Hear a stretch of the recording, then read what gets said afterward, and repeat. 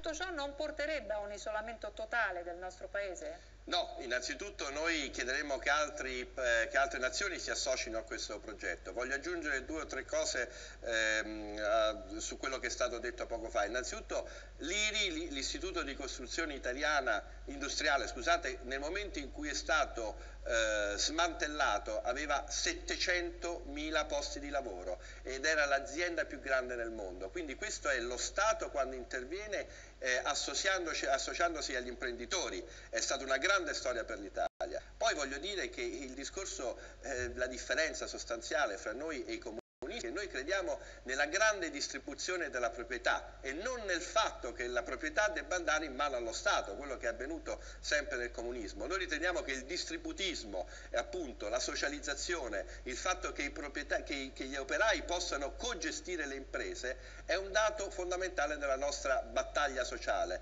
Pertanto noi vogliamo proprietà per tutti, i comunisti vogliono proprietà per lo Stato. Quinto giro di domande, ma rimaniamo ai temi economici calati però alle politiche sociali che sono già emerse nei vostri interventi, sostegno alle fasce disagiate, sostegno alle famiglie, anche il governo sta preparando un pacchetto in questo senso e si confrontano visioni molto diverse. Rizzo, ripartiamo dai comunisti. Salario minimo garantito a 10 euro l'ora, dite voi, e piano di assunzione in settori pubblici. Con quali risorse?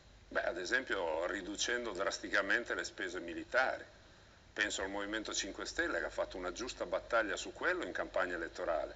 E poi quando si è trattato di andare al governo ha rifinanziato gli F-35, ha rifinanziato tutte le missioni di guerra, ci hanno privato delle parole, si chiamano peacekeeping, ma l'Italia fa la guerra in quei paesi, sono 46 teatri di guerra e quindi insomma bisogna cambiare da questo punto di vista. Sa quanto costa una missione militare? Quanti ospedali, quante strade, quanti treni per pendolari si possono fare? Quanto si può migliorare la nostra società, la vita quotidiana delle persone?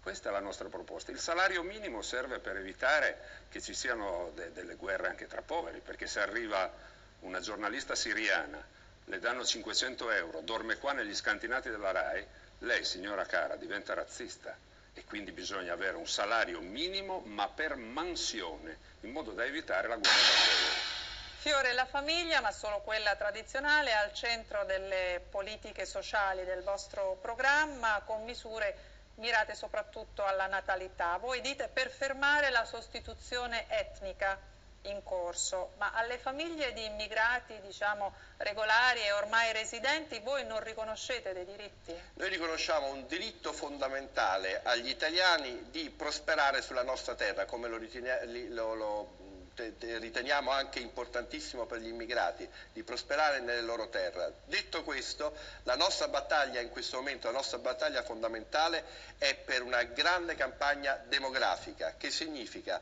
1000 euro a figlio per ogni mese dal momento del concepimento fino al diciottesimo anno. Solamente con una fortissima ripresa eh, di questo tipo noi possiamo tornare a sperare in un futuro per l'Italia, perché la curva demografica è drammatica e la curva demografica porta alla scomparsa del popolo italiano e grazie alle politiche dei governi che ci hanno preceduto eh, di, eh, a un numero di extracomunitari, possibilmente nuovi italiani, che arriva a 10-15 milioni nei prossimi anni. Tutto questo può essere fatto e deve essere fatto con la sovranità monetaria, quindi col controllo della finanza. Di Stefano, tutti ricordiamo cosa è successo a Casal Bruciato, le vostre proteste per l'assegnazione dell'alloggio popolare a una famiglia rom che ne aveva diritto. Non è un po' cavalcare diciamo, il disagio e alimentare questa contrapposizione che poi è una contrapposizione tra poveri. No, chi soffia sull'odio in realtà è chi prende una famiglia che si era iscritta nel 2018 nelle graduatorie e la fa scavalcare tutti gli italiani che aspettano da 15 anni la casa popolare, la porta lì e si prende la rabbia del quartiere. Io non so la, il sindaco Raggi cosa si aspettasse, se magari di arrivare lì e trovare gli striscioni arcobaleno con scritto grazie per aver dato questa casa di 100 metri quadri agli ultimi arrivati. Quindi c'è chi genera odio e chi non interviene per risolvere i problemi. Come ho detto prima dobbiamo costruire le case, dobbiamo fare un sacco di cose che si possono fare soltanto se noi recuperiamo la nostra sovranità monetaria e di bilancio. Le realizzazioni, i programmi